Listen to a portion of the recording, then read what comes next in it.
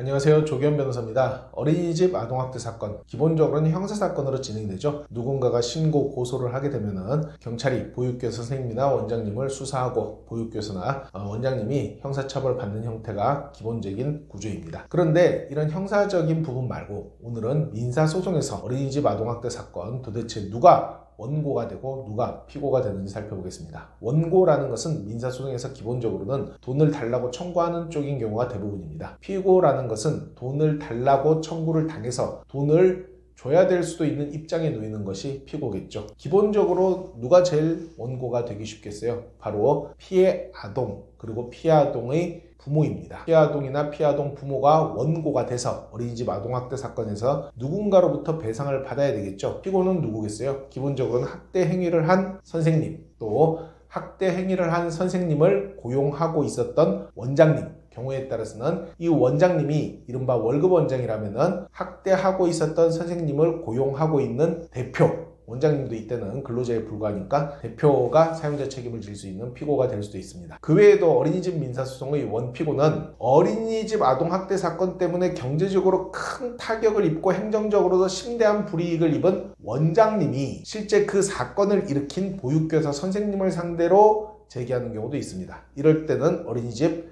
아동학대 사건 민사소송 원고는 행정처분 등을 강하게 받고 또 부모님들한테 여러 가지 배상을 해준 원장님이 원고가 되는 것이고 원장님이 일으킨 손해배상 청구 소송에서 그 실제 사건을 일으켰던 보육교사 선생님이 피고가 돼서 원장님으로부터 손해배상 청구를 당할 수도 있겠죠. 어쨌든 어린이집 아동학대 사건 형사사건 단계에서 잘 대응을 했다면 이런 민사 문제까지 안 왔을 수도 있어요. 하지만 형사사건에서 합의가 적절하게 이루어지지 않는다든지 아니면 형사사건이 다 종료된 이후에 원고가 되고자 하는 자는 누구를 피고로 잡을지 잘 생각을 해서 무엇을 손해로 입증해 나가면서 손해배상을 청구할지 연구해야 할 것이고 피고가 된 쪽에서는 어, 원고의 청구에 대해서 어떠한 법리로 어떻게 방어해야 될지 심도 있게 살펴봐야 될 것입니다. 조기현 변호사였습니다.